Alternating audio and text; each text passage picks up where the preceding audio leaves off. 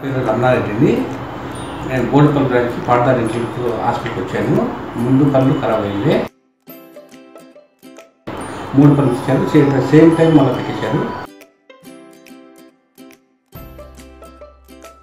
ఏమి పని కలదండి ఇక్కడైతే బాగానే ఉంటాయి